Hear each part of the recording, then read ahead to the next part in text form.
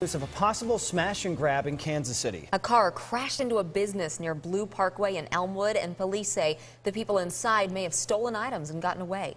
41 Action News reporter Dia Wall is live there with what we know. Dia?